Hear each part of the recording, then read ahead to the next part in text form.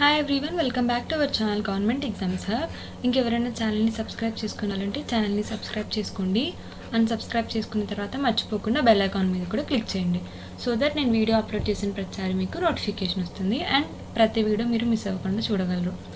And present అయితే మనము యాప్టిట్యూడ్లో class eighteen చెప్పుకుంటున్నాను అనమాట పర్సంటేజెస్లో ఇది మనకి సీజీఎల్ సిహెచ్ఎస్ఎల్ అండ్ ఎన్టీపీసీ ఈ త్రీ ఎగ్జామ్కి యూజ్ అవుతుంది.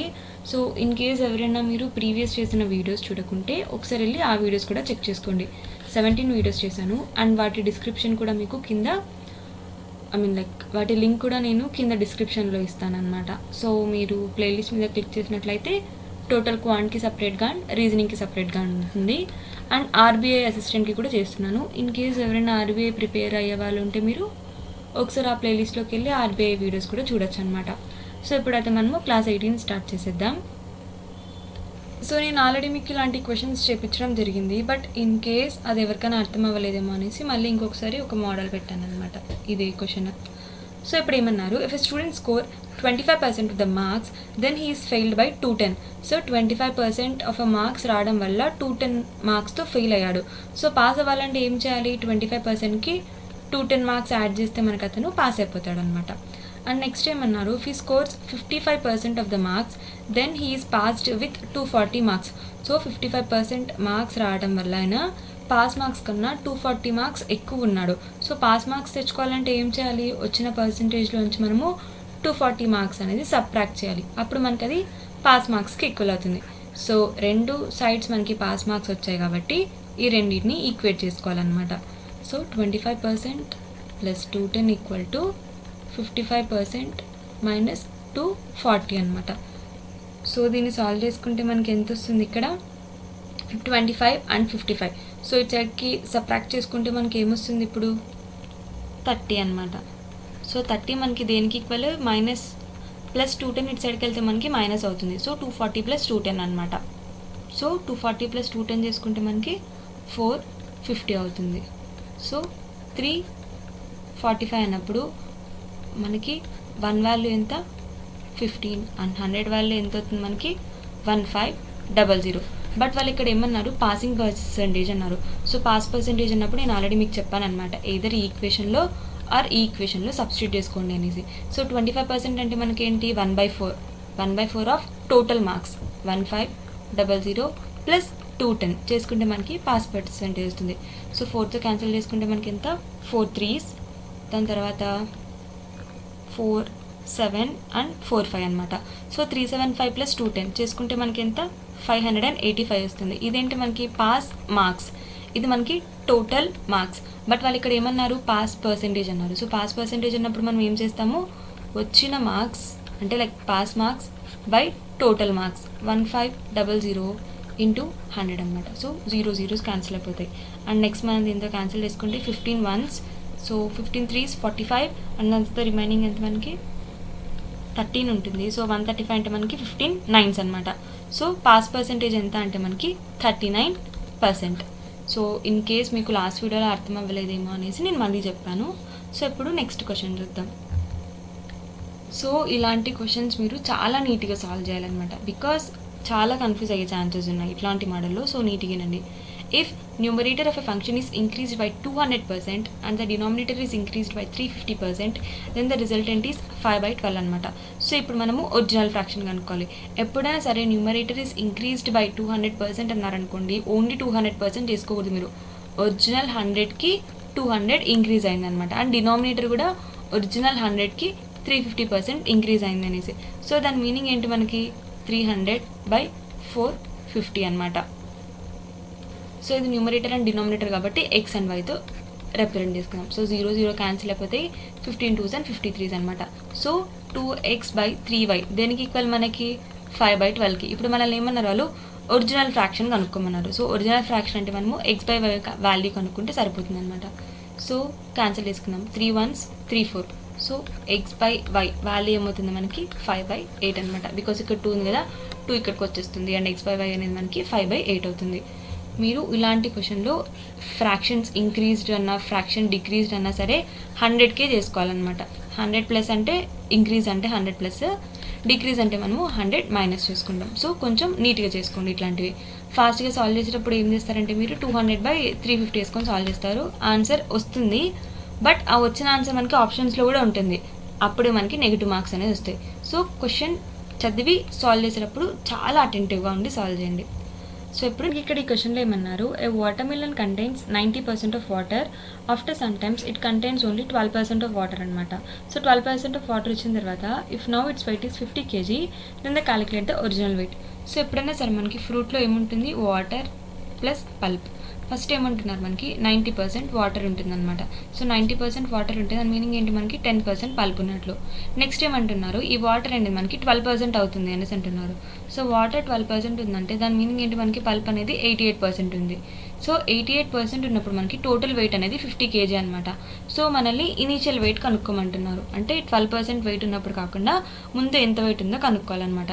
సో ఇట్లాంటి క్వశ్చన్స్ ఎప్పుడు వచ్చినా సరే మీరు డైరెక్ట్గా మల్టిప్లై చేయండి. ఇక్కడ పైన ఇచ్చిన value. Ten percent of X equal to eight eight into ఇక్కడ వాళ్ళు ఇచ్చిన వెయిట్ అనమాట ఎంతైతే ఇస్తారో అంత. సో క్యాన్సిల్ చేసుకుంటే మనకి ఎంత వస్తుంది ఇక్కడ? సో మల్టిప్లై చేసుకుంటే మనకి ఫోర్ ఫార్టీ అనమాట సో ఒరిజినల్ వెయిట్ ఎంత అంటే ఫోర్ ఫార్టీ ఎప్పుడో సరే ఇట్లాంటి క్వశ్చన్స్ వచ్చినప్పుడు డైరెక్ట్గా చేసేయండి. ఇదైతే రాశాను బట్ ఎగ్జామ్లో మీరు రాయద్దండి. సో నెక్స్ట్ క్వశ్చన్ చెప్పిస్తాను. సో దట్ మీకు ఒక క్లారిటీ వస్తుంది. సో ఇక్కడ మనకి ఏమన్నారు ట్వంటీ కేజీ ఫ్రెష్ ఫ్రూట్ అనమాట contains ninety six percent of water after some times water remains ninety five percent so find the present weight అన్నారు. సో ప్రజెంట్ వెయిట్ అన్నప్పుడు మీరు ఏం చేయాలి? ఈ హండ్రెడ్ ఫస్ట్ టోటల్ హండ్రెడ్ అనమాట బట్ ఎంత మనకి ఫస్ట్ నైంటీ సిక్స్ పర్సెంట్ అంటున్నారు. సో నైంటీ సిక్స్ పర్సెంట్ అంటే మనకి రిమైనింగ్ ఎంత? ఫోర్ నెక్స్ట్ ఏమంటున్నారు? నైంటీ సిక్స్ పర్సెంట్ కాస్త నైంటీ ఫైవ్ అవుతుంది. అంటే రిమైనింగ్ ఎంత మనకి? ఫైవ్ సో ఈ వాల్యూతో రాసుకోమన్నాను కదా. సో ఫోర్ ఇంటూ ఇక్కడ వాళ్ళు ఇచ్చిన weight into twenty equal to five into X అనమాట బికాస్ ఇక్కడ మనల్ని ప్రెజెంట్ వెయిట్ అన్నారు కాబట్టి ఇది కనుక్కోవాలి. బట్ లాస్ట్ క్వశ్చన్లో మనకి ఏమన్నారు? ఇక్కడ ఒరిజినల్ వెయిట్ అన్నారు. కాబట్టి మనము ఈ వాల్యూ అనుకున్నాం అనమాట సో ఇప్పుడు ఇక్కడ మనకి ఏమవుతుంది? క్యాన్సిల్ చేసుకుంటే five ones five fours so X equal to మనకి సిక్స్టీన్ కేజీ వస్తుంది. ఎప్పుడైనా సరే మీరు డైరెక్ట్గా రాసుకున్న తర్వాత పల్ప్ అండ్ ఇచ్చిన వెయిట్ రెండు మల్టిప్లై చేసుకోండి బోత్ సైడ్స్ అంటే ఒరిజినల్ అండ్ ప్రజెంట్ ఉన్న వాల్యూని ఈక్వేట్ చేసుకుంటే మనము ఆన్సర్ అనేది ఈజీగా వస్తుంది అనమాట అనవసరంగా మీరు ఏదైతే చేయొద్దండి పల్ప్ ఇచ్చిన వెయిట్ రెండు సైడ్స్ ఈక్వల్ చేసేయండి. ఒరిజినల్లో అండ్ దాని తర్వాత ప్రజెంట్లో సో మనకు ఆన్సర్ అనేది ఒక సింగిల్ లైన్లో వచ్చేస్తుంది. ఇదంతా రాయకుండానే. సో ఇప్పుడు నెక్స్ట్ క్వశ్చన్ చూద్దాం. సో ఇప్పుడు చూడండి. Fresh fruit contains sixty eight percent of water and dry fruit contains twenty percent of water అనమాట సో సిక్స్టీ ఎయిట్ అన్నారు. హండ్రెడ్ మైనస్ సిక్స్టీ ఎయిట్ చేసుకుంటే ఎంత? ట్వంటీ టూ ఇంటూ ఇక్కడ మనకి ఎంత అన్నారు? He can made seventy five kgs అంటే original వల్ల seventy five kgs so into seventy five equal to twenty percent of the water అన్నారు. అంటే పల్ప్ ఎంత మనకి? ఎయిటీ పర్సెంట్ అనమాట so eighty into x so cancel చేసుకుంటే మనకి ఎంత వస్తుంది? Two eleven two four zero దాని తర్వాత five one five five eights I'm so sorry ఇక్కడ నేను ట్వంటీ టూ వేసాను బట్ సప్ర హండ్రెడ్ మైనస్ సిక్స్టీ ఎయిట్ అంటే మనకి థర్టీ టూ కదా. సో థర్టీ టూ ఇంటూ ఇచ్చిన weight seventy five equal to hundred minus twenty అంటే ఎయిటీ ఇంటూ ఎక్స్ అనమాట so sixteen five sixteen twos five ones five fifteens that is nothing but x equal to ఎంత మనకి? Thirty kgs అనమాట ఎప్పుడైనా సరే ఇట్లాంటి questions వచ్చినప్పుడు మీరు పల్ప్ని బోత్ సైడ్స్ ఈక్వల్ చేసుకోండి. Original side and present side and a value అయితే కనుక్కోమన్నారో ఆ వాల్యూ కనుక్కోండి. పల్ప్ని ఈక్వేట్ చేసుకోవడం మాత్రం మర్చిపోదండి పల్ప్ ఈక్వేట్ చేసుకుంటే ఆన్సర్ అనేది ఈజీగా వస్తుంది కష్టపడకుండా. సో ప్రీవియస్ త్రీ క్వశ్చన్స్ కూడా సేమ్ ఇదే మోడల్ ఇప్పుడు నెక్స్ట్ క్వశ్చన్ చూద్దాం.